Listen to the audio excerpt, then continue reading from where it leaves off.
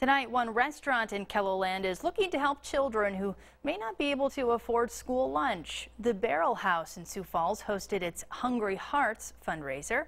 KELOLAND's Nathan Finster spoke with organizers who hope the event brings awareness to child hunger in the state. Dunk tanks and inflatables filled the parking lot of the Barrel House for the Hungry Hearts fundraiser. Well, we serve food. I mean, that's what we do here. And, you know, I mean, we serve thousands of people a day, so we figured try to raise money to help feed these kids and make sure they got a hot meal. While the Barrel House says this is only the second year that they've hosted the event, they say they're hoping for high numbers. We cooked enough food for a thousand, so we're banking on a thousand people today.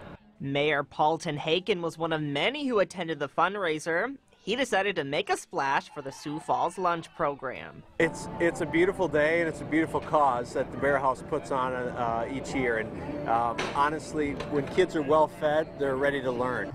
Both TenHaken and the Barrel House say they're pleased about the community support for the fundraiser. It's been tremendous. You know, even the school district is, you know, helping us promote it. And, you know, the the way we make money here is by people showing up and you know supporting it. I think when Sioux Falls sees a need, Sioux Falls steps up and fills a need. And that's what makes Sioux Falls great is we have people, including businesses, that are willing to step up and, and do the right thing for our, our people.